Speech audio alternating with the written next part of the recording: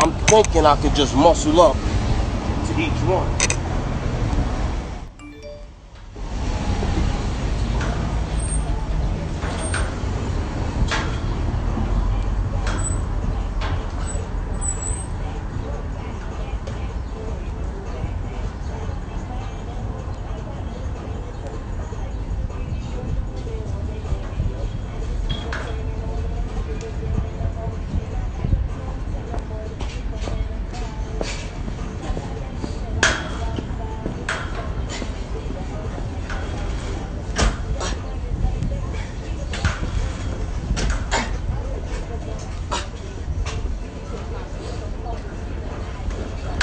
That